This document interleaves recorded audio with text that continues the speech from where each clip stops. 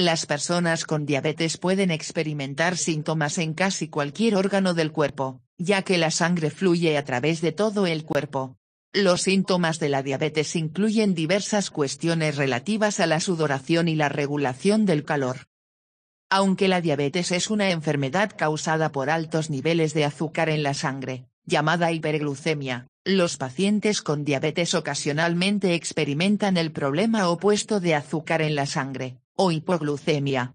Un bajo nivel de azúcar en pacientes diabéticos es frecuentemente causado por medicamentos utilizados para tratar la hiperglucemia, pero a veces funcionan muy bien y producen que el azúcar en la sangre baje a niveles no saludables. Cuando las personas con diabetes experimentan un descenso del azúcar en la sangre, el cuerpo libera epinefrina, también llamada adrenalina, en un intento de aumentar el azúcar en la sangre. Algunos pacientes con neuropatía diabética realmente experimentan el efecto contrario cuando los nervios que controlan las glándulas sudoríparas están dañados, estos sudan demasiado. Algunos pacientes con neuropatía diabética realmente experimentan el efecto contrario cuando los nervios que controlan las glándulas sudoríparas están dañados, estos sudan demasiado.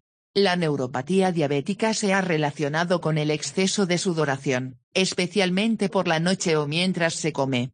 Algunos pacientes pueden despertar en el medio de la noche debido a que sus sábanas están empapadas en sudor, que se refiere a veces como sudoración nocturna copiosa.